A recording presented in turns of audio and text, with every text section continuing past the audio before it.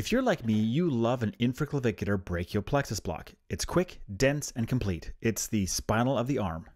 And maybe you've heard about or considered doing the retroclavicular approach to the infraclavicular region, or the RAPTIR block. It's got several advantages over traditional infraclavs, mostly to do with needle visualization and avoidance of vessels, and these are outlined in this complete how-to video. We love it. There's a reason this is our primary approach to the brachial plexus. But the RAPTIR is often misunderstood and feared. For the novice, it does seem scary to advance a needle through the shadow of the clavicle, but once you've done one, you'll see just how not a big deal this is. You know what? Enough of me talking. Let's show you one from start to finish.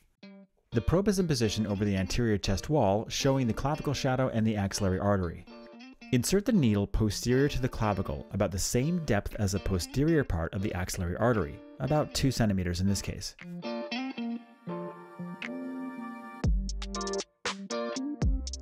The first centimeter or two, you won't see your needle, but then, bing, you'll see it. As is nearly always the case, the needle is pointing directly to our target, just posterior to the axillary artery. We can see the lateral cord here, which is easy to avoid in this trajectory.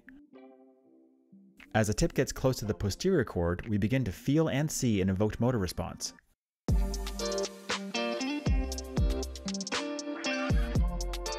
A small test injection shows we're in exactly the right spot, just deep to the axillary artery.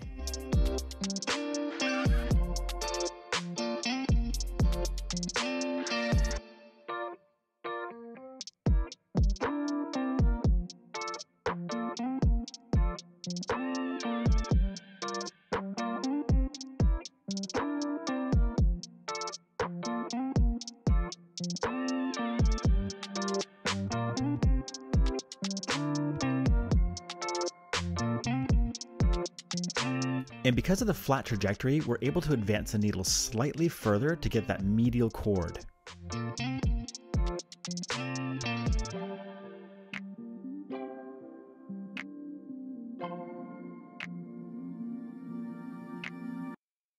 There's the medial cord. But there's really no need to video game or try to redirect the needle to other spots. Once you're underneath the artery, you're in good shape.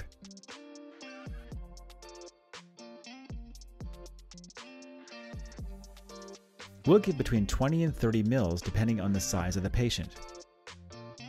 And that's it, you're done. Another awesome, easy RAPTIR.